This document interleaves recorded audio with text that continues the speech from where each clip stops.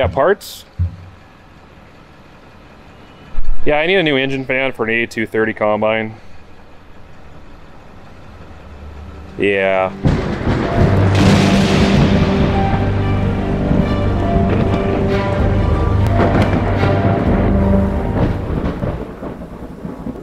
I feel terrible. It wasn't my fault, but the combine is down and uh, I killed something. So when I went to start the combine up, it's been sitting for a couple days since it rained. And I turned it on and the combine shook and vibrated violently for a second. And I thought the rotor was on. I'm like, how is the rotor running when I just start up? And then it quit. The but the combine still was vibrating a little bit. But I was like, well, that is weird. It's like, well, I'm just gonna back it up to the fuel tank here and put fuel in it, and then I'll climb up back here and take a look. So I drove it over and backed it up, and I got up here. I'm filling up with diesel, and I reach down, and I see a weird chunk of something. I pick it up, and it's uh, meat, bloody. And then it dawned on me. And I took a peek under here, and a stray cat decided it'd be a great place to lay in the fan compartment right up against the radiator, and it destroyed the cat and the fan. Just, it's a mess under there. So we got a guy, Chadster, is gonna go get a fan. There's one at the dealership. So he's gonna go get a fan. I don't even know what that thing costs, but it's probably a lot. Legarms and I are gonna start peeling us apart and figure out how we're gonna put a fan in here. This is the first time, I've always heard of this happening. This is the first time I've ever had this happen. I, I hear of that happening. Kid, cats getting under the hoods. A lot of the older vehicles because they were belt driven fans. This is a belt driven fan. The newer cars doesn't happen as much because they're electric fans and the engine will run before the fan kicks on so the cat gets out. Well, this cat had no chance. All right, well, let's uh, pull this thing apart and see what we find. This whole cover, Looks like this it's, cover's it's got welded together off. down there. You just take off these bolts, I believe. We're like this close to being done with harvest. Wow. There's like goo all over. I know, it's a mess. Here we go. See the damage? the radiator needs to be washed out. Yeah, that radiator's pretty dirty. We're just gonna hopefully make it to the end of season. Oh, there's chunks down there too, all along the bottom. I think it'll buff out. We could probably just put some wax on it and shine it up. It'll be good. Uh, Legarms, are you sure you're gonna be able to carry that down the ladder okay? Right. That's kind of dangerous. I wouldn't, oh! Okay. Chad is back with the fan. Wonder how much this baby cost. They have the invoice? What do you guys think it cost? No way. that. That can't be right. What? It's only 300 bucks. What? I thought for sure that was gonna be a thousand dollar fan. Wow. Okay, well, let's get it in there and get going.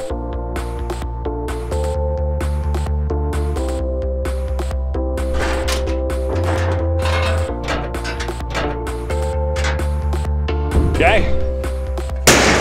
Back in business. Let's go get some chickpeas.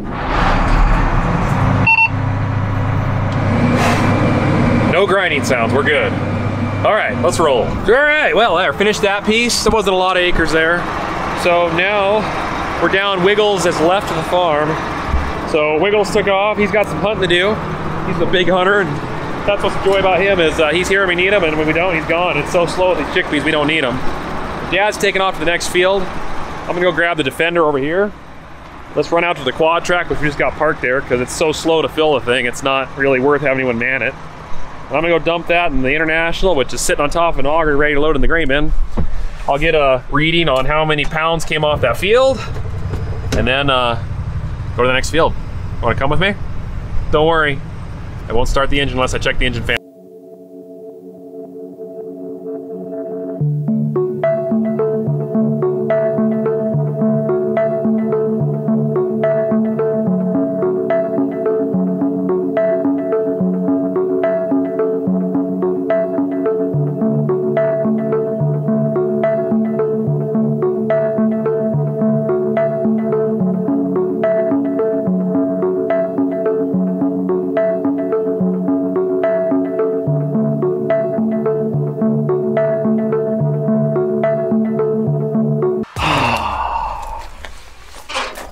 Mick Chad's not here to drive it. It's all mine. Okay, everyone. Um, second day to the last. One more day of harvest, uh, then we're done for 2020. We're cutting chickpeas, garbanzo beans, garbs, whatever you want to call it, they're all the same. Uh, with me, I have my daughter and my grandchildren. At least three of them out of the nine. Um, so anyway, so uh, let's go ahead and say what's your name. You're the oldest, Addie? Addie. No, this one. Okay, Andrew, is that you? Yep. Oh, okay. I was wondering who was behind me. And then who are you? Nora! All right. And then where's your mother? Buried. Yeah. But anyway, yeah, they're enjoying uh, the combine ride, harvesting, and uh, it's quite an experience for them. Always a highlight. Yep, it's always fun to see all this, all the moving parts happening, the, the amount of plant material coming in and then exiting out the back, um, and then what's happening in the grain tank. Um, so it's a, it's quite an experience, um, and then just the feel, the, the uh, being out in the the land and the, the view, the skies are, it's a beautiful day. Probably about 68, eh, 70, well, no, it's probably about 75, 76 out there. Yeah. No No wind, wind. really, sunny, um, not very smoky. Just a great, great day, uh, great fall day. Love fall days. So, Yeah. anyway, uh, what do you guys want to say? You guys want to uh, keep cutting, or do you want to go to, go to the pool? Oh no, the pool's too cold. Yeah, pool's a little cold. The Cutting's way pool's more cold. fun. Okay, all right. Hold it. Yes, we all love the horn. All right, I'm gonna let you guys go uh, because I gotta hold on to them, make sure everything stays All right. And, good. So say goodbye. And bye. Ben. Hi, I know you guys have heard me speak really highly of this setup here, but I'm being honest when I say it is a really nice setup. Case IH did a great job, and uh, kudos to them. Honestly, this is this is very well done. You never know really how much you're going to like a system until you get some time on it, but so far I've been very impressed with this, and I'm really curious to see when these tractors get out there more and more with the Magnum, Connect Magnums, and everything, what people think if they really do like it. But I personally think this was a home run. I really do. So good job, Case. Looks like 55,100 pounds, 13% moisture, and 918 bushels. I'll log that. On to the next field. All right, let's go join Dad. I'll leave the quad here. He said it's not yielding very good. It's the very, pretty much the very last stuff we planted of the chickpeas, and it's weedy and a mess. So we'll be able to hold. It's really small, just like I don't know, 20 acres or something. So we'll be able to hold it all in these combines. So I'll just run this down there, cut it with the combines, come back, figure out what we're gonna do, and uh, yeah, go from there. But ah, just too bad it's not yielding better. That's such a bummer. And just like that, we went from a pretty clean field to kochia again. Lots of it. Oh, it's actually running, what is that, 15, 14? So it's gonna be teens. We might get 13 on this, I don't know. Dad said in the real thick weeds, it's not yielding very much at all. I don't know, we're learning. This is, I guess, the life of a pulse crop. Peas aren't that bad though. Yellow peas aren't bad. Chickpeas, on the other hand, such a late crop. Weeds get a chance to grow. Just tough. Oh no. Uh, let's do it. Get ready, Beastbine. You're gonna eat some weeds. Nom nom nom nom nom nom nom nom nom nom nom. Oh wow. Yeah. That'll clean Beastbine out. It's like uh, drinking a bottle of prune juice. Maybe it's more like fiber. Eating a bunch of carrots. But we're getting one bushel an acre too in that spot. Actually, this area right here and some of this other area over here where there wasn't any weeds, it was running 25. So it's amazing. Changes.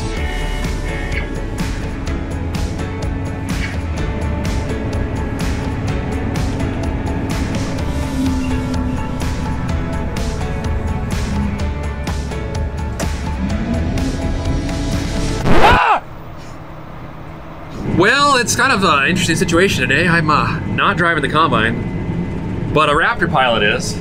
This is Lance. Lance, you're from Alaska, Yep. and what do you do for a living again? I was an F-22 pilot. Yeah, just an F-22. If you guys saw on some of social media, Lance actually flew a flag in an F-22 for me, and some other guy, but we won't talk about him. but no, Lance is passing through, and uh, he is a farm boy at heart. You grew up in Nebraska, right? Yeah. So this is not unnatural for you to be driving a combine, except for the fact that it's a red combine. Yeah, I, I don't know how you do this. he's figured it out. He's okay. He'll make it. But he's a, he, he's a green guy. But but um yeah, he's from a farm in Nebraska, so he's a farm boy farm boy at heart, and uh, turned fighter pilot. Kind of like my alter what uh, life that I wanted. I was a farm boy, wanted to be a fighter pilot. Didn't go that way. He became the fighter pilot.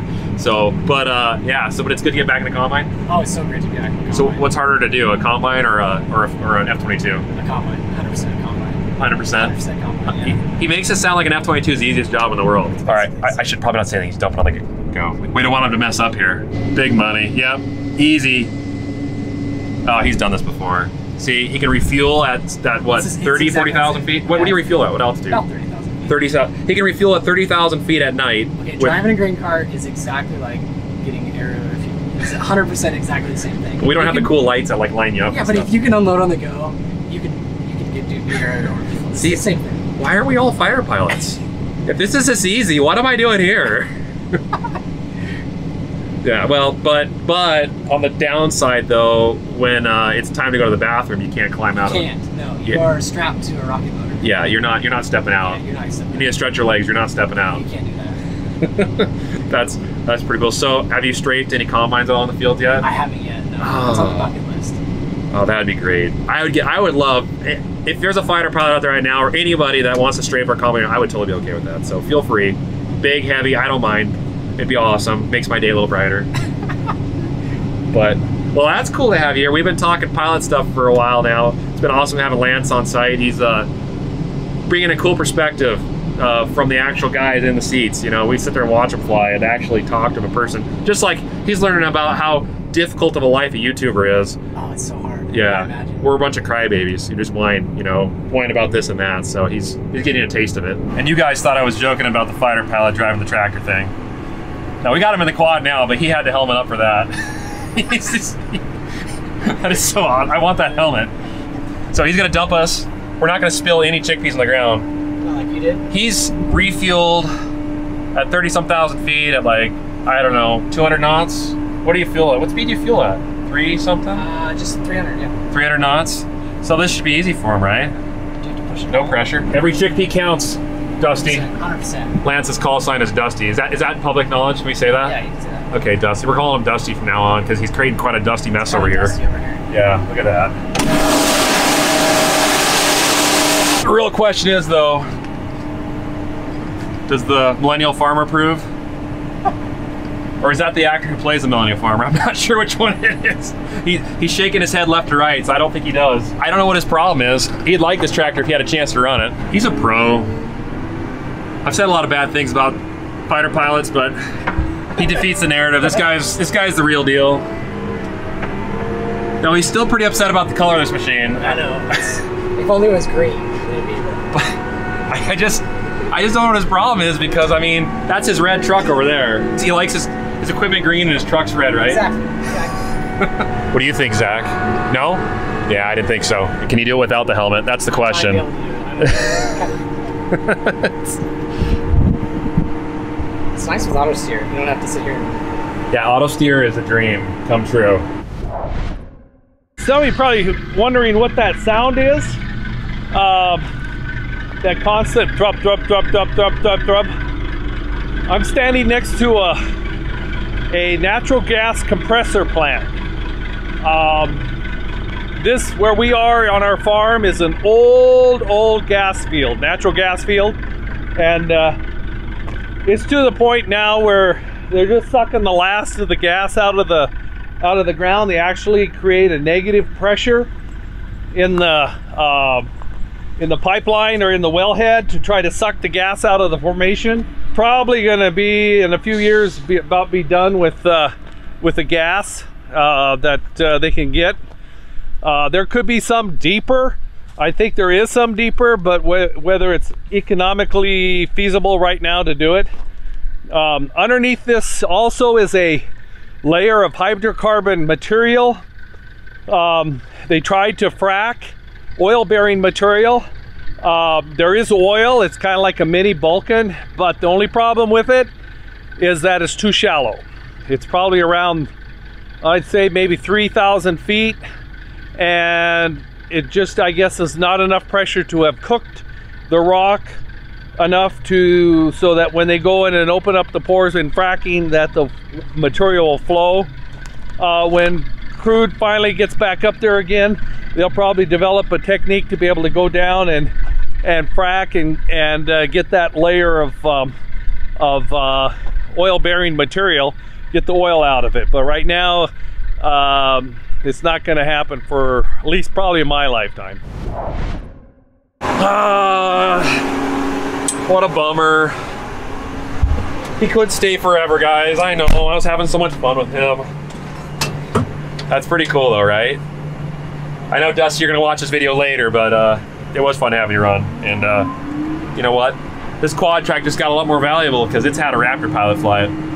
Yes, Raptor pilots are awesome because Dusty's awesome, so believe it. For those of you who may be wondering, the F-22 Raptor is one of the greatest fighter jets ever built. It's the fifth generation fighter that the U.S. Air Force has been flying for a number of years now. There's only 186 of them, 180 some of them out there. They didn't make very many, and there's only a few pilots that get a chance to fly them, so it's a pretty prestigious job. It's a pretty cool airplane. It really is amazing. So yeah, that's a that's an honor to be able to fly something like that. But it's also an honor to be able to drive something like this, right?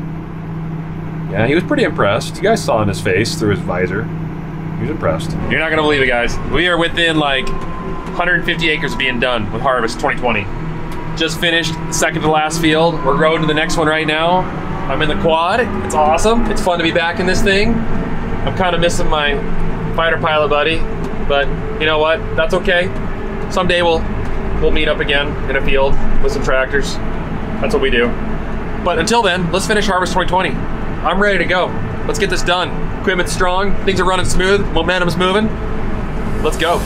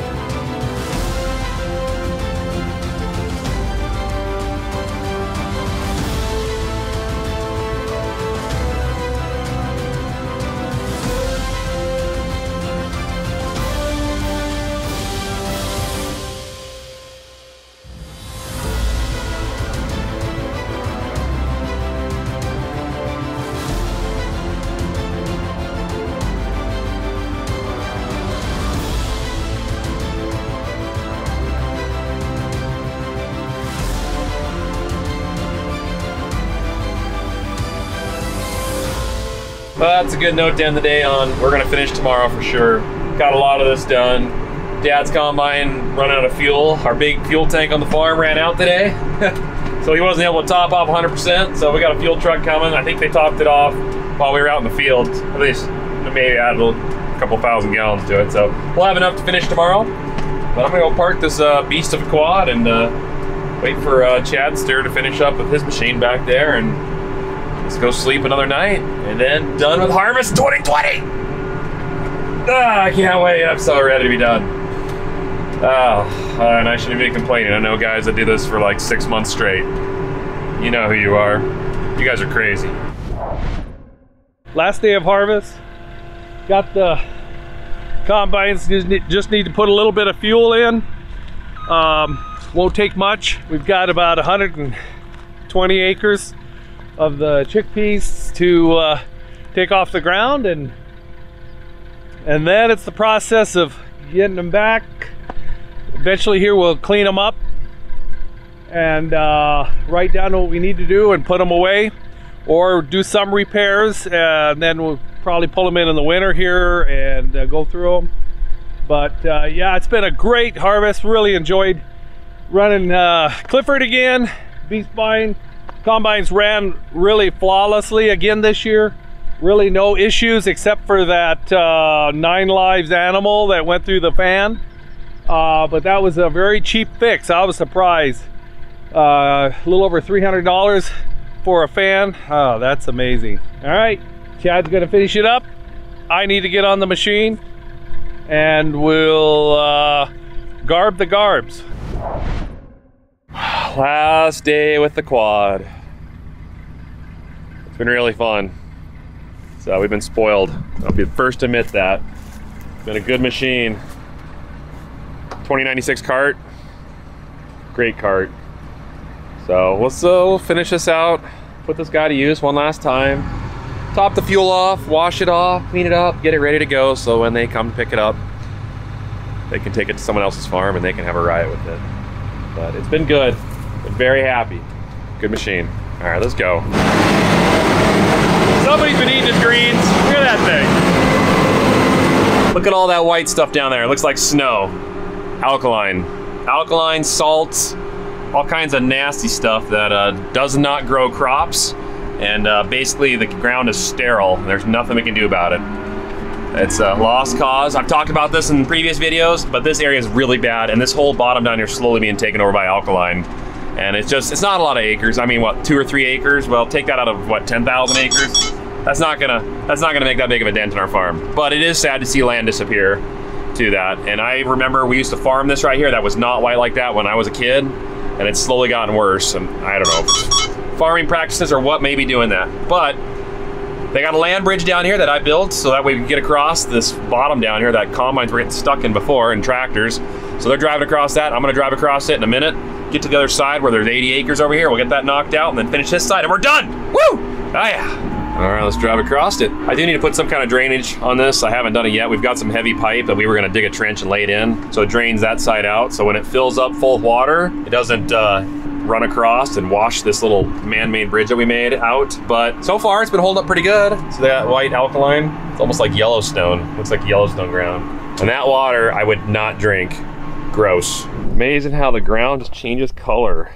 The salts just work themselves up. But this, a lot of this dirt here, I, I dug from some areas over there that didn't have a lot of salt in it, and it still works its way up.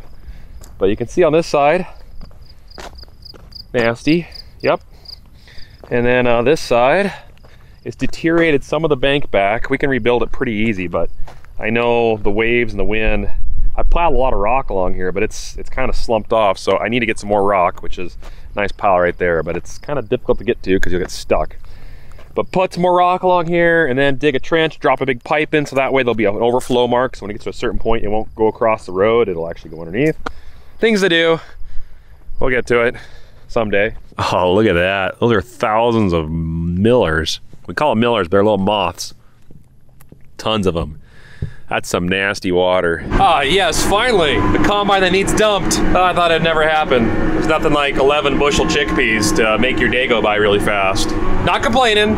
I'm just, yeah, I'm complaining. Okay, I'll stop. Hey, remember when I talked about those things? The pipes in the ground that are sticking out of the field?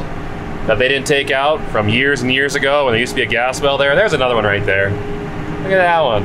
And no, I'm not going to go around the farm and put solar panels on everyone with LED lights flashing so that we can see them two weeks out of the year. I'll just avoid them. I just won't hit them. But I can complain a little bit. I'm complaining again. Okay, I'll stop.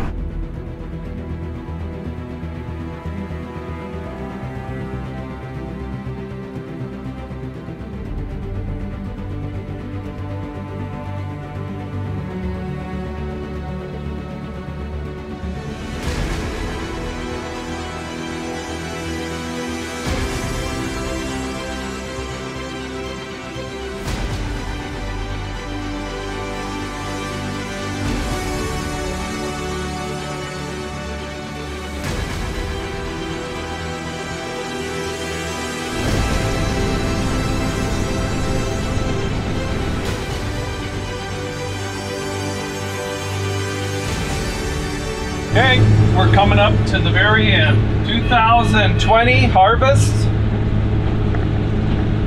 is now completed. And that's a good feeling. Great having you guys with us.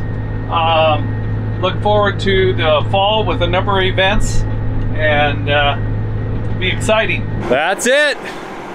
Harvest 2020 is in the books. Done. Last of the chickpeas right there. No more acres to cut let's row this baby home. That's an end of another chapter of the book of what happens on Welker Farms here in North Central Montana. Thanks for joining us, guys. I'm gonna row this back. Let's do a little bit of cleaning, get stuff wrapped up, shut her down, and then start thinking about next year. But don't worry, there's a lot of harvesting going on still all across the country. Corn harvest just about to kick off. Some guys are already well into it. It's gonna be good stuff. So there's a lot of content coming, but I hope you guys enjoyed this version of harvest in the world in north central Montana from Welker Farms.